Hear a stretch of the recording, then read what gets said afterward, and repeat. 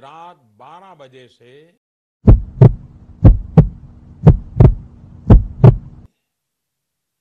संपूर्ण देश में संपूर्ण लॉकडाउन होने जा रहा है।